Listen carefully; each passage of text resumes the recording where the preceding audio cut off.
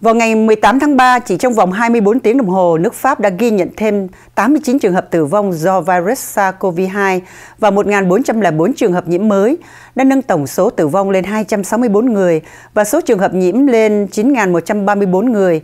Ngoài ra, trong số 3.626 bệnh nhân phải vào bệnh viện, có 921 người trong tình trạng phải chăm sóc đặc biệt. Dịch bệnh lây lan nhanh đã buộc chính phủ Pháp phải xem xét khả năng ban bố tình trạng y tế khẩn cấp, qua đó cho phép Thủ tướng ban hành các biện pháp mạnh như giới hạn tự do đi lại, cấm hội họp hay trưng dụng bất kỳ tài sản và dịch vụ cần thiết nào để ngăn chặn thảm họa. Giới chức quốc phòng Pháp cho biết quân đội sẽ không tham gia kiểm soát các biện pháp hạn chế đi lại, nhưng sẽ đóng góp các hỗ trợ y tế như vận chuyển bệnh nhân bằng trực thăng quân sự. Trong khi đó, theo thông báo của Bộ Tư Gia cư của Pháp, thủ đô Paris sẽ có hai trung tâm cách ly dành cho người vô gia cư với tổng số 150 giường. Trung tâm đầu tiên sẽ mở cửa vào ngày 20 tháng 3. Vào tuần trước thì Tổng thống Macron ra lệnh đóng cửa tất cả trường học trên toàn quốc.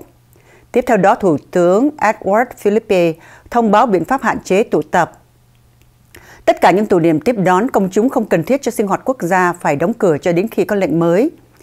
Lĩnh vực ẩm thực, giải trí như nhà hàng, quán giải khát, phòng trà, hộp đêm, dạp chiếu phim, nhà hát kịch đã được lệnh ngưng hoạt động.